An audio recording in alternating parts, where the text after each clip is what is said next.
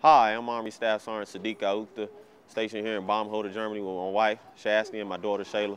We'd like to wish everyone back home in Dallas, North Carolina, Merry Christmas and a Happy New Year. We love you, we miss you, see you soon.